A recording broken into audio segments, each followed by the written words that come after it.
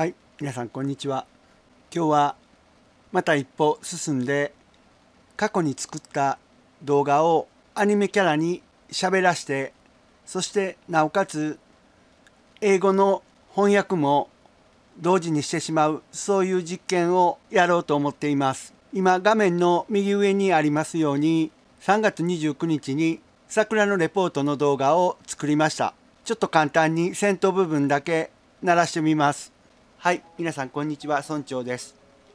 今日はいつもの音楽と違って僕の地元吉野の桜の開花情報をお知らせしたいと思います。今映ってるのが僕のスタジオの近くの吉野神宮駅という最寄り駅です。吉野神宮聖徳太子が祀ってある神宮の入り口になるところです。はいこのような感じに動画を作りました。これを iPad の UD トークというものに聞かしてそしてそれを読み込むと今画面の上の方に持ち上げたようにこのように文字を打ってくれます。いわゆる字幕がもう出来上がってるんですね。そしてここにはちょっと分かりにくいかも分かりませんがその発生されたタイムがここにずっと表示されていています。じゃあこの「はい皆さん村長です」というところから再生をします。するとこの音声がゆかりネットというこの連携ソフトに渡されてここからチェビオという音声合成ソフトいわゆるボーカロイドのようなソフトですけれどもそこに渡されます。例えばここで「こんにちは」と打ってみましょ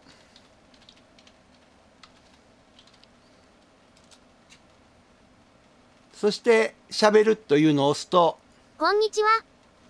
このようにしゃべるわけです。これをいちいち打つのではなく先ほどのこのリストに喋らしていかにも打ったように自動でやってしまおうということです。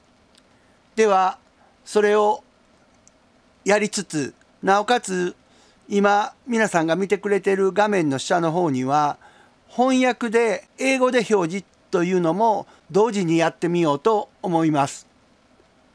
では実験スタートします。はい。皆さんこんにちは村長です。今日はいつもの音楽と違って、僕の地元、吉野の桜の開花情報をお知らせしたいと思います。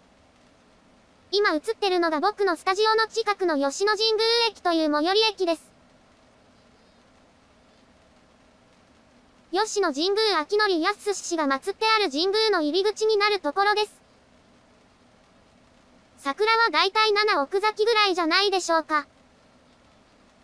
駅の周りはまあまあされています。散るほどでもなくされてるって感じです。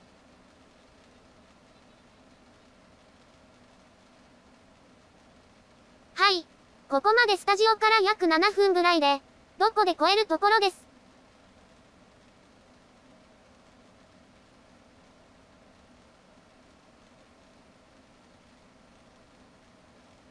風に揺られて綺麗ですね。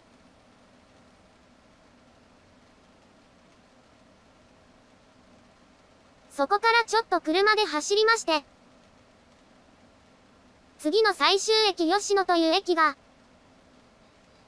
近鉄線の最終駅です。そこまで車で走っています。距離的には車で5分ぐらいの距離です。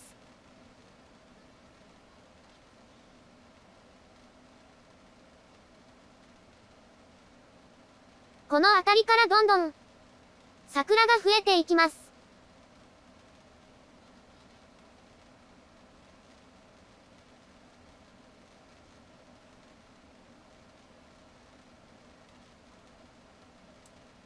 今日は月曜日ですけれども、毎年よりもの桜が早くてですね。そして平日ですので、あまりお客さんがいません。通常はこの道はもう大渋滞になって、この辺りで、吉野の桜を見るのを諦めて帰られる方もいるような、そんなような場所です。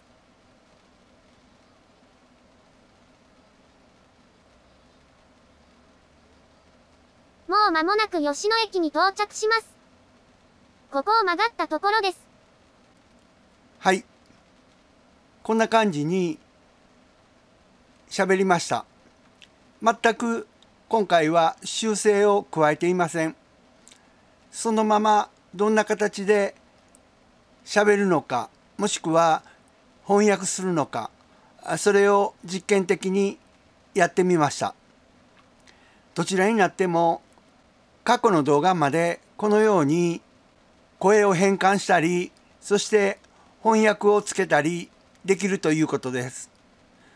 本当にすごい時代になってきました。これからもさらに研究を進めたいと思います。村長でした。